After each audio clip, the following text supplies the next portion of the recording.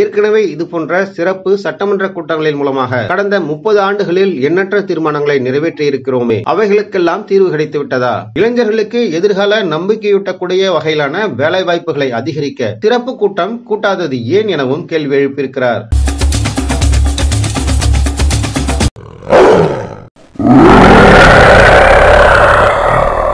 NEET தேர்வு குறித்து மீண்டும் ஒரு சட்டமன்ற தீர்மானம் தேவையற்றது. புதிய தமிழகம் கட்சியினுடைய தலைவர் டாக்டர் கிருஷ்ணசாமி அறிக்கை. முதலமைச்சர் மு ஸ்டாலின் உட்பட சில அரசியல் கட்சி தலைவர்களுக்கு புதிய தமிழகம் கட்சியினுடைய தலைவர் டாக்டர் கிருஷ்ணசாமி கடிதம் எழுதியிருக்கிறார். லெட் த விஸ்டம் பிரிவேல் பெறுதல் மாண்புமிகு மு ஸ்டாலின் தமிழ்நாடு முதலமைச்சர் மற்றும் திமுக கூட்டணி கட்சி தலைவர்கள். தமிழ்நாடு. அன்புடையீர் வணக்கம். கடந்த ஐந்து மாதங்களுக்கு முன்பு நீட் தேர்வு ரத்து செய்ய வலியுறுத்தி தமிழக சட்டமன்றத்தில் நிறைவேற்றப்பட்ட தீர்மானத்தை மறுபரிசீலனை செய்யுமாறு அறிவுறுத்தி மேதகு தமிழக ஆளுநர் அவர்களுக்கு அம்மசோதாவை பேரவைத் தலைவருக்கே திருப்பி அனுப்பியுள்ளார். இந்த நிலையில் சட்டமன்ற அனைத்து கட்சி தலைவர் கூட்டத்தை கூட்டி எதிர்வருகின்ற எட்டாம் தேதி சட்டமன்ற சிறப்பு கூட்டம் ஒன்றை மீண்டும் நடத்தவும் ஏற்கனவே திருப்பி அனுப்பப்பட்டதையே வலியுறுத்தி மீண்டும் ஒரு தீர்மானம் நிறைவேற்றப்பட இருப்பதாகவும் இந்த கூட்டத்திற்கு பிறகு அறிவித்திருக்கிறீர்கள். இந்த கூட்டத்தில் பாஜகவும் அதிமுகவும் கலந்து கொள்ளவில்லை என்பது வரவேற்க வேண்டிய விஷயம். பொதுவாக இது போன்ற மிக முக்கியமான விஷயங்களில் தமிழ்நாட்டின் அனைத்து அரசியல் கட்சிகள் மற்றும் சமூக இயக்கங்களையும் அழைத்து பேசி கருத்துகள் கேட்கப்பட வேண்டும்.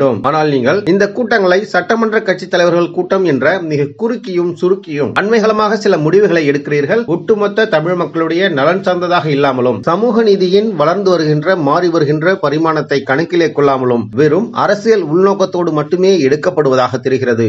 பாரத நாட்டினுடைய தமிழகத்தினுடைய ஒரு பொறுப்புள்ள குடிமகன் என்ற வகையிலும் தமிழகத்தில் கடந்த அரை நூற்றாண்டுகளுக்கும் மேலாக சம உரிமை சமநீதி ஆகிய கருத்துக்களை வெறுமனே பேசி வராமல் அவற்றை தமிழ் சமுதாயத்தின் வேர்க்கால்கள் வரை கொண்டு சென்றவன் என்ற அடிப்படையிலும் சில முக்கியமான கருத்துக்களையும் ஆலோசனைகளையும் எடுத்து வைக்க விரும்புகிறேன். இரண்டாயிரத்தி பத்தொன்பது நாடாளுமன்ற தேர்தலுக்கு முன்பும் இரண்டாயிரத்தி இருபத்தி ஒன்று சட்டமன்ற தேர்தலுக்கு முன்பும் வெற்றி பெற்றவுடன் ஒரே கையெழுத்தில் நீட் தேர்வு ரத்து செய்யப்படும் என்ற வாக்குறுதியை கொடுத்து வாக்குகளை வாங்கினீர்கள். நீட் தேர்வு என்பது நாடாளுமன்றத்தில் விவாதிக்கப்பட்டு இரு அவைகளிலும் நிறைவேற்றப்பட்டு சட்டமாக்கப்பட்டு விட்டது. அதிலிருந்து ஒரு மாநில அரசு விலக்கு பெறுவது என்பது இயலாத காரியம் என்பதை நீங்கள் நன்கு அறிவீர்கள். எனினும் உங்களுடைய அரசியல் ரீதியான அணுகுமுறைக்கு தமிழக ஆளுநரையே ஆயுதமாகவும் கேடயமாகவும் பயன்படுத்தவும் அதில் தமிழக மக்களை பலிகட ஆக்கவும் நினைப்பது எந்த விதத்தில் நியாயம் என்று தெரியவில்லை. நீட் தேர்வு அறிமுகப்படுத்தப்பட்ட பொழுது தமிழக மாணவர்கள் ஓரிரு ஆண்டுகள் சிரமப்பட்டார்கள் என்பது யதார்த்தம்தான். ஆனால் கடந்த மூன்று ஆண்டுகளாக கிராமப்புற ஏழை எளிய பின்தங்கிய மாணவர்களும் அதிக இடங்களை பெற்று வருகிறார்கள். வெறும் ஐந்து அல்லது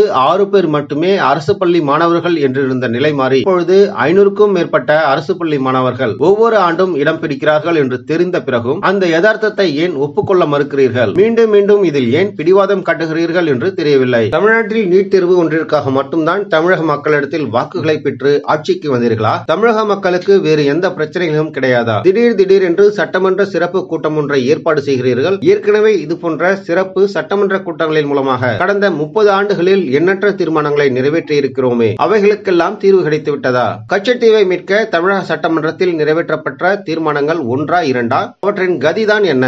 ராஜபக்சேவின் போர் விதிமுறை மீறல்கள் குறித்து விசாரிக்க அவர் மீது சுதந்திரமான சர்வதேச விசாரணை ஆணையம் ஒன்றை அமைக்க வேண்டும் என்று சட்டமன்றத்தில் நிறைவேற்றிய தீர்மானம் என்னவாயிற்று? காவேரி முல்லை பெரியாறு மேகதட்டு போன்ற பிரச்சனைகளுக்கு சட்டமன்றத்தில் நிறைவேற்றப்பட்ட தீர்மானங்களினால் தேவையான தீர்வு கிடைத்ததா? ராஜீவ்காந்தி கொலையில் குற்றம் சுமத்தப்பட்ட ஏழு பேரின் விடுதலை குறித்து நிறைவேற்றப்பட்ட தீர்மானம் என்னவாயிற்று? இவைகளெல்லாம் ஒருபுறம் இருக்க தமிழக இளைஞர்களிடத்தில் வேலையில்லா திண்டாட்டமும் வறுமையும் அதிகரித்து வரும் பொழுது அது குறித்து சிறப்பு சட்டம் சட்டமன்ற கூட்டம் நடத்த முயற்சிகள் செய்ததுண்டா? கடந்த இருபது முப்பது ஆண்டுகளாக தமிழகத்தில் ஆறாக பெருக்கெடுத்து வரும் தமிழக இளைஞர்களுடைய உடல் நலம் சீரழிக்கப்படுகிறது. தமிழக மக்களுடைய பொருளாதாரம் அரசின் மதுபான கடைகளாலே கொள்ளையடிக்கப்படுகிறது. அது மட்டுமல்ல சட்டவிரோதமாக மதுபான கடைகளுக்கு அருகாமையிலேயே பல்லாயிரக்கணக்கான மதுபான பார்களை நடத்த அனுமதி கொடுத்து அதிலும் கொள்ளையடிப்பதை கண்டறிந்து நீதிமன்றமே ஆறு மாதங்களுக்குள்ளாக அனைத்து மதுபான பார்களையும் மூட வேண்டும் என்று உத்தரவிட்டிருக்கிறது. ஒரு சிறப்பு கூட்டத்தை கூட்டி ஆறு மாத கால அவகாசம் இல்லை. அடுத்த நாள் முதல் அனைத்து மதுபான பார்களும் மதுபான கடைகளும் மூடப்படும் என்று தீர்மானம் நிறைவேற்ற ஏன் யோசிக்கவில்லை? கடந்த ஒன்பது மாதங்களாக அனைத்து கட்டுமான பொருட்களின் விலைகளும் ராக்கெட் வேகத்தில் உயர்ந்து வருகிறது. அதை தடுப்பதற்கு எடுத்த சிறப்பு முயற்சிகள் தான் என்ன? அதற்கு ஒரு சிறப்பு சட்டமன்ற கூட்டத்தை கூட்டப்படாதது ஏன்? பதினேழு லட்சம் என்றிருந்த அரசு ஊழியர்களின் எண்ணிக்கை மெல்ல மெல்ல குறைக்கப்பட்டு இப்பொழுது வெறும் எட்டு லட்சம் என்று குறைந்துள்ளதாக தெரிகிறது. இளைஞர்களுக்கு எதிர்கால நம்பிக்கையூட்டக்கூடிய வகையிலான வேலை வாய்ப்புகள் தேர்வுகளை அதிகரிக்க சிறப்பு கூட்டம் கூட்டாதது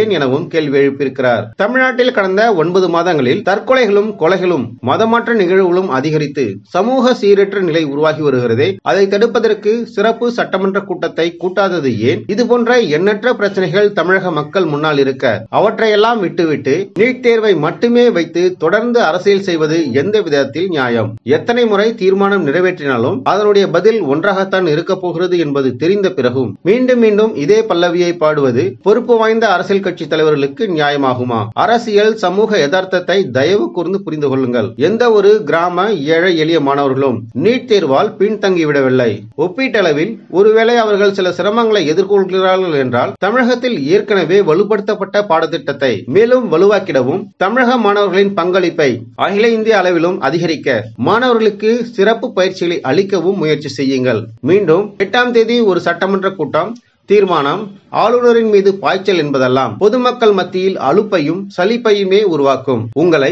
அரசியல் ரீதியாக அந்நியப்படவும் வைக்கும். அது உங்களுடைய அரசியல் தோல்விகளை மறைக்க ஆளுநரையே ஆயுதமாகவும் கேடயமாகவும் பயன்படுத்தும் யுக்தி என்பதை வெட்ட வெளிச்சமாக்கும். எனவே இந்த பொறுப்பற்ற நடவடிக்கைகளை கைவிடுங்கள். சில நேரங்களில் சில வாக்குறுதிகளை நிறைவேற்ற முடியாமல் போகலாம்.